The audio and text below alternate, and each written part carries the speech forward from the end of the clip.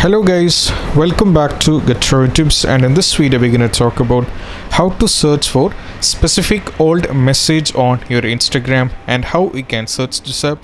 So let's dive into the workarounds and if you are for the first time to our channel then don't forget to subscribe and click on the bell icon.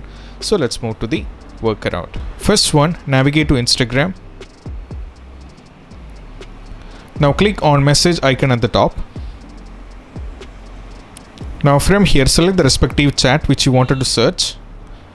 Now over here at the top as you can see this is the conversation at the top there is an eye icon at the top just tap on it.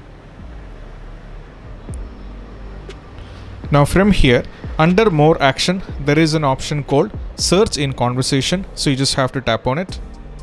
Now search the respective conversation which you wanted to look for. So type it and go for search. Now what you have to do is you'll be getting the all the notifications like this and you have to select the respective one. Now as you can see this is the particular conversation which has been done in 29th January 2021 so this is how we can get this up. And also make sure and also not this sound this particular feature is right now available for on iPhone only.